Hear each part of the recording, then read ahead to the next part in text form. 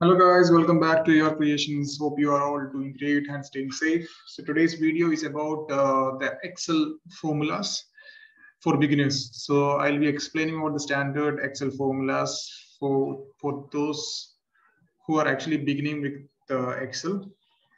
So without much further introduction, let's start. So this is an Excel raw file which I've created uh, for uh, explaining the Excel formulas which you can apply. So we have countries, population, number of males, number of females. So for the first formula, which I'm going to apply over here is a sum formula. Suppose you want to find out the total population of all these countries.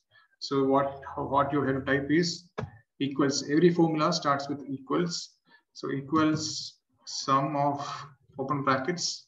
So you can go to the first, second row B2 to B11. Okay, so you can see the range, what is being mentioned in the sum formula. B2 is to B11. So it will give the total sum of the population. So the next question will be whether, whether we have to apply the formulas everywhere. That means if you have to apply a formula in the number of males column, the sum formula, so do we have to again type in all the details and drag it again? So it's not necessary. So once you apply the formula over here, you can apply those formulas to the next cells also by going to the right hand bottom corner of the cell and drag it towards your right. So you can, so the formula is being applied automatically to the next cells. Okay, this is how you have to you can apply the sum formula. Okay, everyone is clear on that. The second formula which we're going to apply is average. Average formula is very easy. The same, starts with equals, type average, open brackets. You're going to apply the same range, B2 is to B, B12. Close the brackets, click on enter so it will give you the average population considering all these countries. So likewise, if you want to apply these formulas to the number of males to find out the average number of males in all the countries mentioned over here, or the average number of females, which is being a part of all these countries over here. So you have to just go to the right hand bottom corner of the cell, drag it towards your right, it will keep all the values. So this is how you can apply the average formula. So the next formula which I'm going to talk about is a count formula. Count formula is basically used for counting the number of rows or number of columns which is being selected. So how to apply? Start with same equals count open brackets. I mention up to Korea. Type in. So it will say 10 rows. So likewise, if you want to test on the other columns, you can see 10 rows each. What if I haven't included any details? Look at the look at the changes. So the count function or the count formula always counts the number of cells which have a numeric value. So my question is what I mentioned empty over here, which is a variable. So it is not counted because it's not a numeric okay. So why if you want to count the cell which is having an alphabet or a string also along with the numerics then we have a different operator or different formula which is called COUNTA.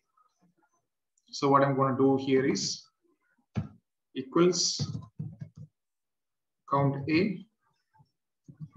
Buckets the range over here enter. So it will be 10 because there is no empty spaces. Let's see how it works in the next rows. So you can see 10 and here it's 9. Why? Because it's 9. It's because uh, it's totally empty. There is no numerics, no strings, no characters, nothing. Here we have uh, strings or characters over here. That's why it's been counted. So you can use the count formula for counting the number of cells which has a value in it. Okay, so if it, if it doesn't have any values, then there is an issue. Okay. So I'll give another formula which can you can use for raw data. That means uh, if you have typed Brazil hyphen J or uh, hyphen J or Holland space A, India space S, Australia space M. So we have a command called trim. So it equals trim and you can give the text. So these are the text. So you're putting it over here. It will give Brazil J, Holland A, India S. So that means uh, you can see that I have put a lot of space in between India and S and Australia and M. So it calculates properly that uh, two words have, have to be separated with a single space.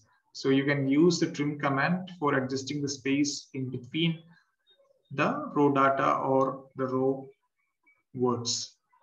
Okay, so this is called trim command. So these are the main formulas which you can use while you start working with Excel.